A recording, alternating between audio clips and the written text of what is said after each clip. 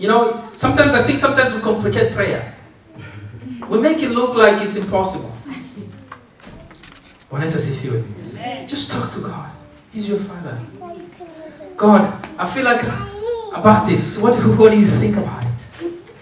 Lord, this thought is just is just consuming my mind and I know it doesn't please you. Can you take it away from me? God, something is burning within me about your ministry, God. Help me.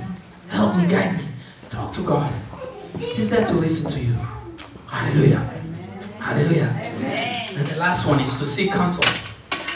To seek counsel. Some people, they don't like, especially our generation, we don't like advice. We just feel like we, we think we know everything.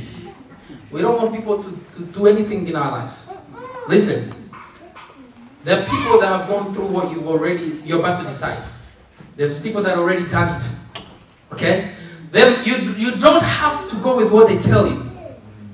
Bwana Yesu asifiwe. Amen. Listen, let I, I go around and ask God the people you trust, people you um, you know you, you believe that this, these people are very trustworthy. Ask them, hey, I'm about to do this. I'm about to decide about this. What do you think about it? What do you think? Unafikiria nini nikifanya kitu kama hichi? Seek for advice. Hallelujah. Amen. Hallelujah. Amen. And listen, every advice you get, you don't have to, to do what they tell you. It just opens up your mind. Matter of fact, it gives you different perspectives of the things that you could have missed. Asifiwe. Amen. We need to seek for advice. There are people that God has put in our lives for a reason.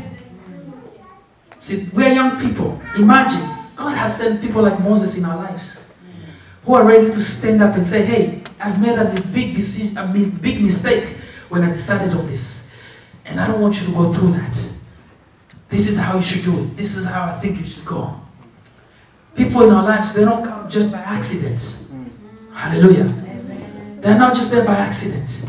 Some of us have made bad decisions when God had already sent somebody in your life that was going to help you with it. But you just didn't seek counsel because you thought you know it all. You thought you know everything. And so you just fall to that. Bwana Yesu asifiwe. Let's seek counsel. People that you can trust. Hallelujah. Hallelujah.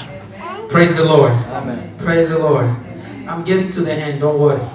We'll see how God Usiogope. We're not going to sleep here. I know it's wet and cold outside and all, that, but we're going to leave. Don't worry. Tutaondoka. Bwana Yesu asifiwe. Hallelujah. Hallelujah. I'm here to tell you that you don't have to go in cycles anymore. You don't have to go in cycles anymore. You don't have to. You don't have to. Today can be an end. Today things can change. Today things can change. Hallelujah. Hallelujah. Hallelujah. Hallelujah. See, some people, some people are suffering today because of decision made by their parents. Some people are suffering today because of decision made by your grandparents. Some people are bound in witchcraft. Some people are possessed because of decision made by other people. Some people are cursed because of decision made by other people. And so you also come to this world and you find yourself just going through the same cycle too because of other people's decision.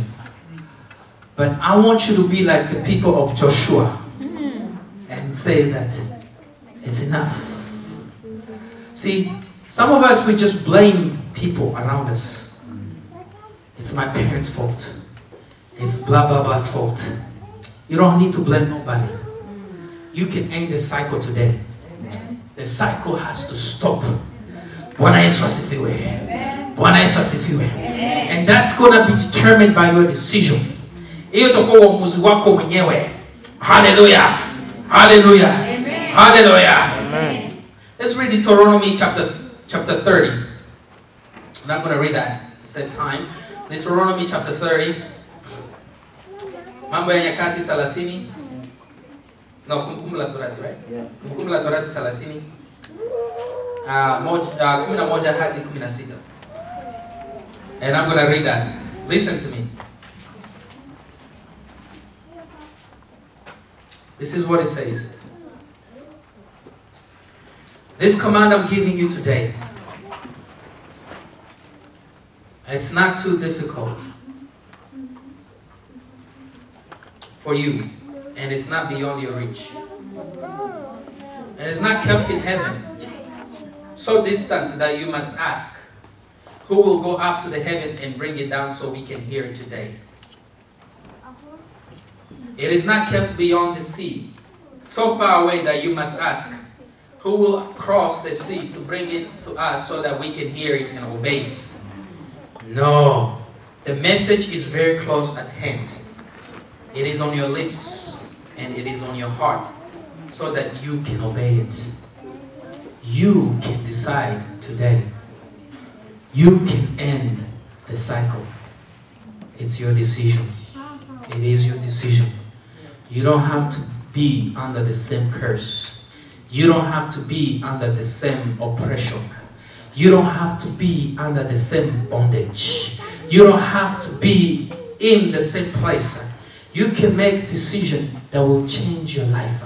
You can make a decision that will bring eternity to place. When Joshua was with, with the people and he told them, I believe that's Joshua 25, no, 24.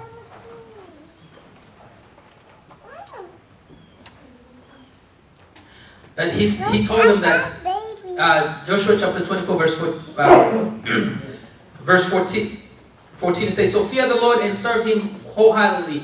Put away forever the idols of your ancestors. Worship them, uh, the ancestors worshipped when they lived beyond the Euphrates rivers and Egypt. Serve the Lord alone.